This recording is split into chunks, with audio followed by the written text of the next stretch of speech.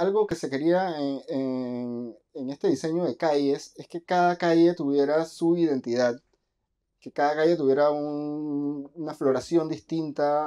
Por ejemplo, la calle de eh, la vía, Boulevard Porta Norte tiene sus loritos que son siempre verdes, de un verde caña que filtra de manera muy hermosa la luz. Eh, en la calle La Unión tiene los sombreros que tienen una flor rosada, morada, con blanco.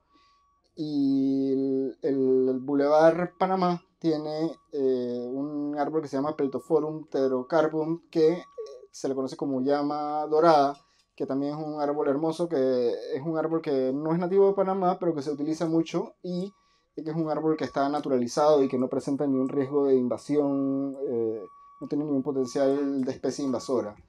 Entonces es un árbol muy útil para, para, ciudades también porque crece en suelos rocosos, crece de manera muy rápida, tiene una flor amarilla, entonces, y tiene un porte bastante importante este árbol. Entonces, eh, decidimos utilizar este árbol porque, porque tiene las características de, que estábamos buscando para darle la identidad al Boulevard Panamá.